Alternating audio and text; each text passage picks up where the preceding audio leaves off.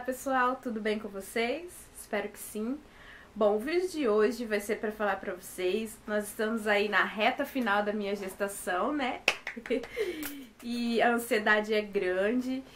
Então, eu vou estar tá falando para vocês um pouquinho da, da, dos sintomas, os exames, o que tem acontecido, tá? A data que o médico marcou o parto e muito mais coisas. Então, se você quer conferir, é só continuar assistindo. Vem comigo. Gente, é, eu vou estar tá falando pra vocês, tá?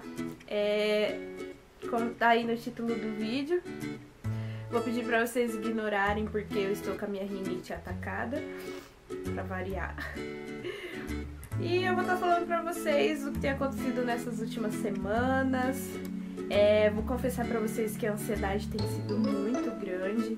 Eu tenho ficado muito ansiosa, mas é, não adianta ficar ansiosa, tem que manter a calma mesmo. E é isso, eu tenho sentido algumas dores, né? Mas o médico disse pra mim que é por conta que o bebê tá virado. Ó quem tá aqui. Fala oi. Oi. Fala oi, meninas. O bebê já tá na posição, tá? Ele não está encaixado, ele está na posição. E marcou meu parto pro dia 23 de março né? Vai ser numa segunda-feira. Provavelmente vocês vão estar assistindo esse vídeo depois, porque tem outros vídeos já programados. Mas ele marcou para o dia 23, às 7 horas da manhã. É, eu estou de 37 semanas. É, na terça-feira, dia 24 de março, eu completo 38. E ele marcou minha cesárea como eu vou fazer a laqueadura, eu vou estar tá fazendo a cesárea do par, é, depois do parto, né? Eu vou estar tá explicando, contando para vocês a minha experiência. Mas chega de blá blá blá e vamos ao que interessa. Bom, meninas, é, o médico pediu para mim a última ultrassom, eu fiz, eu tava com 33 semanas e pela ultrassom a data seria mesmo dia 23, porque eles fizeram baseado na, no que o médico falou e também é, eles falaram que a idade fetal do meu bebê era de 35 semanas. Tá? Ultrassom, né? Eu fiz, levei pra ele ver tudo, tava tranquilo. Aí ele passou pra mim fazer exames de. os últimos exames, que foi de urina e urocultura que eu fiz. E é, fazer, né, esses exames que eu já falei, de urina e tal.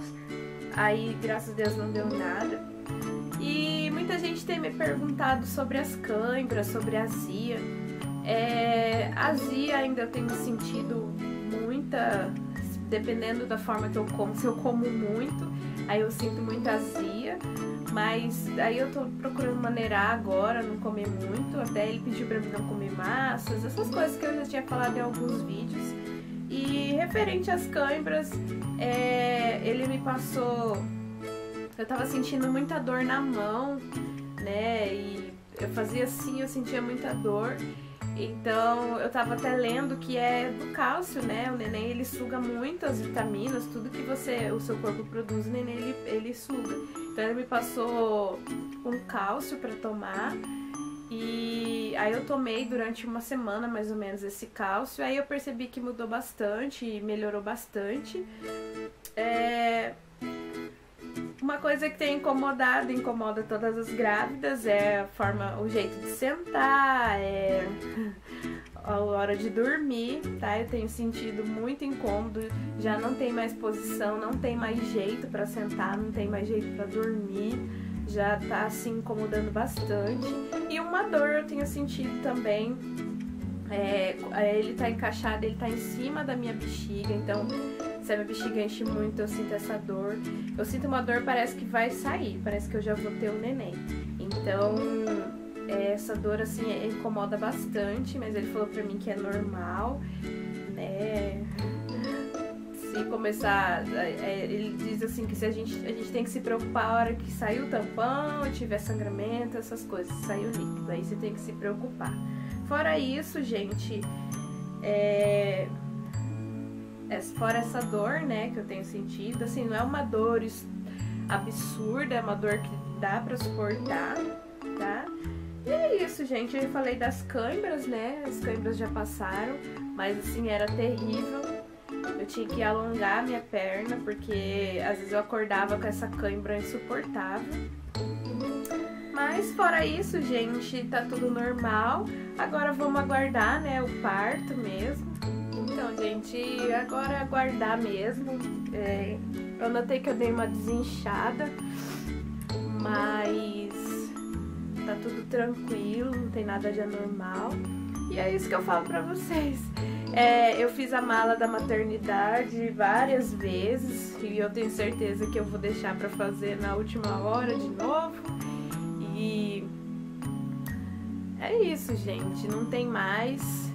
Negócio é esperar mesmo. Se você vai ter um parto, parto normal, deixa a hora do seu bebê, né? Ele é Deus que segue a nossa vida e o bebê que vai escolher a hora que ele tem que nascer, a hora que ele quiser nascer. No meu caso, é, eu praticamente, eu e meu médico que escolhemos a data por conta da laqueadura, né? E como eu ia fazer cesárea, né? É, eu preferi então escolher a data, tá? E os sintomas que eu tenho sentido são esses. Se você gostou desse vídeo, clique em gostei. Não deixe de se inscrever aqui no canal para estar tá recebendo as atualizações de primeira mão. Um beijo e até o próximo vídeo.